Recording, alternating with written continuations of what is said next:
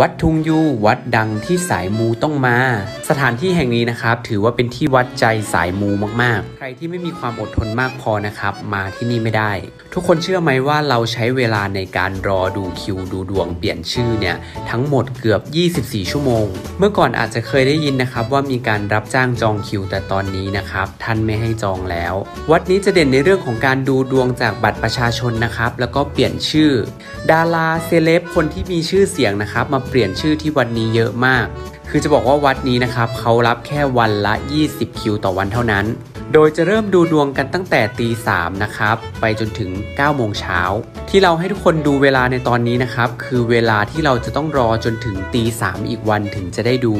ถือว่าเป็นการรอคอยที่ยาวนานมากๆ แต่ด้วยชื่อเสียงที่โด่งดังนะครับ บอกกันปากต่อปาก ถึงเรื่องของการที่ใครมาดูดวง แล้วก็เปลี่ยนชื่อที่วัดนี้นะครับ ปังทุกคน หลายคนได้เลื่อนขั้นเลื่อนตำแหน่ง หลายคนธุรกิจก้าวหน้าแบบก้าวกระโดด หรือจะเป็นคนที่ทำงานอยู่ในวงการบันเทิงนะครับ ก็มีชื่อเสียงโด่งดัง หลายคนอาจจะเห็นวัดนี้ผ่านช่องทาง TikTok นะครับ แต่จะบอกว่าวัดนี้เขาดังมาตั้งแต่ไหนแต่ไรแล้วนะครับ วัดจะอยู่ที่จังหวัดเชียงใหม่นะครับ จะอยู่แถวถนนคนเดินเลย เรามาตรงกับวันอาทิตย์พอดีนะครับ ทุกคนก็เลยแก้เบื่อโดยการมาเดินถนนคนเดินซื้อของอร่อยมากินกัน ระหว่างที่เรารอคิวนะครับ อย่างที่บอกไปมีหลายคนที่เข้ามา แล้วก็ต้องยกเลิกไป ราะว่ารอคิวไม่ได้คิวยาวจองกันแบบข้าม 2 วัน 3 วันก็มี บางคนเคยนอนกัน 5 คืนก็มี แต่เราโชคดีมากๆนะครับ ได้มานอนแค่ 1 คืน รอ 1 คืน แล้วก็ใช้ชีวิตหยุดวัด 1 วันโดยที่เราไม่สามารถออกไปไหนได้เลยครับ ทุกคนเพราะว่าพระท่านจะดูนะครับว่าเรามีความอดทนมากพอที่จะดูดวงกับท่านหรือเปล่า ซึ่งเราก็จะใช้ชีวิตอยู่ในนี้เลยอาบน้ำอะไรอยู่ในนี้หมดเลย เป็นสิ่งที่อามชอบมาก ๆ เลยนะครับ มันเหมือนกับการที่เราได้ฝึกความอดทนไปในตัวด้วย เราจะได้รู้ว่าเรามีความอดทนมากพอ ที่จะได้รับสิ่งดี ๆ หรือเปล่า บางคนเข้ามานะครับ พอรู้ว่าต้องรอคิวนาน ก็กลับบ้านไปรอไม่ไหว บางคนอย่างที่บอกไปก็อดทนรอ 3-4 คืนก็มีบรรยากาศก็เป็นแบบนี้นะครับ ทุกคนจะมีห้องนอนให้เราเนี่ยได้นอนแค่ 2-3 ชั่วโมง นอกนั้นทั้งวันต้องมานั่งรอตรงนี้ ไม่ว่าคุณจะมาจากที่ไหนนะครับ ก็ต้องมารอมานั่งเหมือนกันเท่าเทียมกันหมดเลย จนใกล้ถึงเวลาของเราแล้วครับทุกคนเราก็มีโอกาสได้เจอพระท่านเป็นครั้งแรกนะครับ ท่านก็เปิดประตูออกมาหาแบบนี้ และเราก็รอจนถึงคิวเราครับ แล้วก็ได้ไปดูคือจะบอกว่าท่านดูดวงแม่นมาก ๆ ครับทุกคน วันนี้เราก็เลยถือโอกาสเปลี่ยนชื่อชอบชื่อใหม่มาก ๆ ดีมาก ๆเลย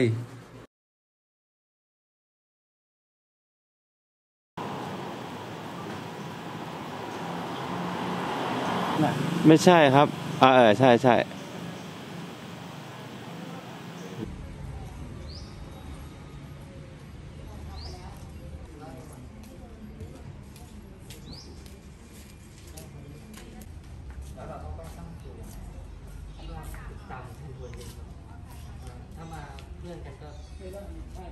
ซอคิวซอคิว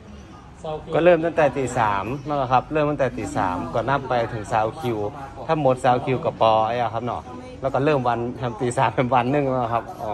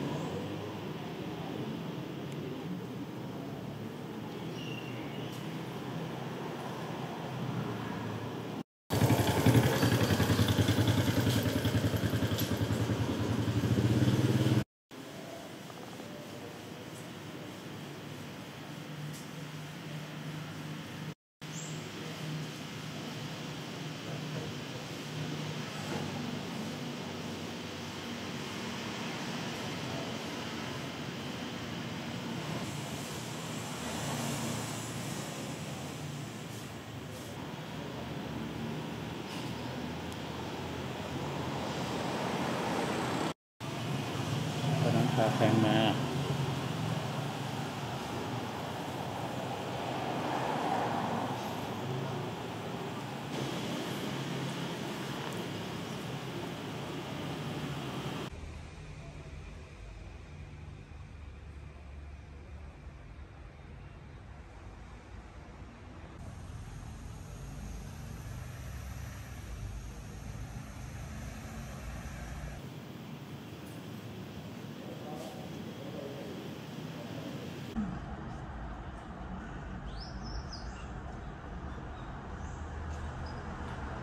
ไอโฟนนี่มันใช่เลยอะ